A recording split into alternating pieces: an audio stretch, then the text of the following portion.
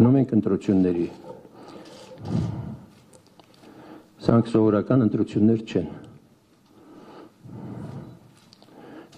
Շատ պայթյունաբտանք իրավիճակ է Հայաստանում եւ առայժմ իմ կանխազգացմամբ այս ընտրությունները լինելու են Հայաստանի պատմության ամենախայտարակ, ամենավտանգավոր ընտրությունները։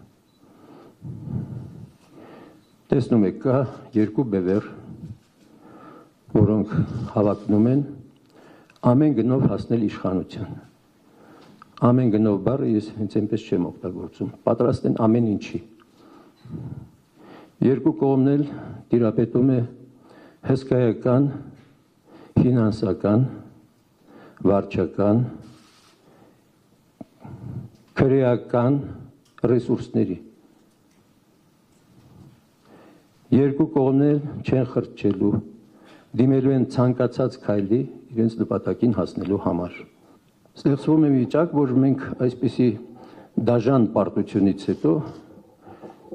երբ սովորական նորմալ ազգերը ստապության պահ են ապրում, հասկանալով պահի լրջությունը, հակառակը նրանք այդ պահը օգտագործում են երկրի վիճակը ավելի խոր փոստ նետելու համար։ Ոչնչի արժև չեն կանգնելու, իմացեք։ Որևէ մեկի ազնիվ խոսքին չհավատակ, ոչ Փաշինյանի, ոչ Քոչարյանի։ Մենք տեսել ենք արդեն նրանց ազնիվ խոսքը ինչ է արժեցել մեր ժողովրդի համար։ Կար մի հրաշալի միջոց այս վիճակից դուրս գալու շատ հանդարտ հանգիստ, եթե Քոչարյանը եւ Սերժ Սարգսյանը ընդունեին իմ առաջարկը հանդես գալու դաշինքով,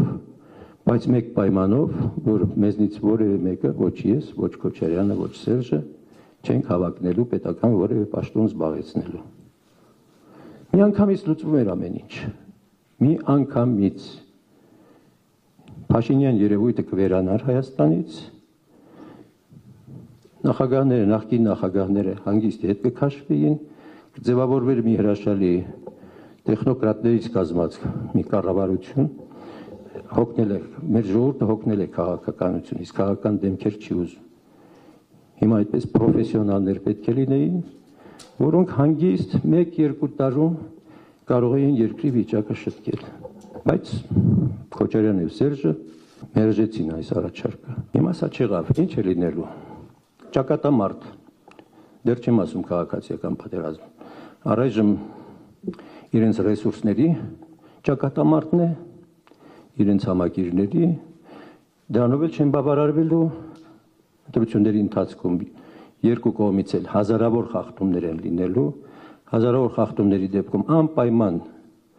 միջադեպեր են լինելու տեղամասերում, դրանք կարող են արդեն անկառավարելի դառնալ։ Սա է վիճակը։ Ամենաշատ քննարկող հարցը հետևյալն է. թե ինչու ես եւ Քոչարյանը մերժեցինք Փաշինյանի բանավեճի հրավերը։ Քոչարյանը իր ոճով կամ իր էությամբ շատ հոյակապ պատասխան տվեց ասեց ես Փաշինյանին ոչ թե բանավեճի, այլ մենամարտի եմ հravirում իդեպ ցանկացած զինատեսակով այսինքն պարսատիկից, ռագատկայից մինչև ատոմային ռումբ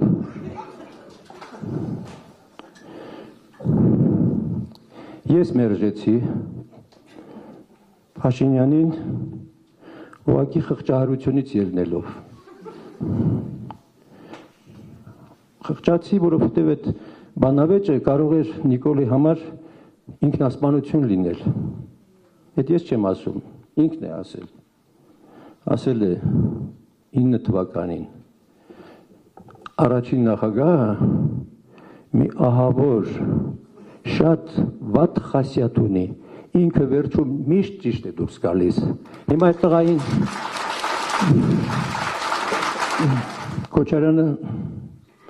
սա արդեն ինձ համար մի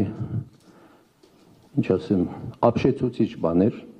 որ արդեն քաներորդ անգամ խոսում է արժանապատիվ խաղաղությունից։ Բայց ես հիշում եմ արժանապատիվ խաղաղությունը, երբ որ ես արտասանեցի, ամիջական արձագանքը այն էր, որ Լևոնը հողերը տալիս է, վերջ։ Հիմա խոսում է արժանապատիվ խաղաղության մասին կապիտուլյացիայից հետո սա ոչ թե լավագույն դեպքում կլինի արժանապատիվ խաղաղություն, այլ արժանապատիվ կապիտուլյացիա, ուրիշ ոչինչ։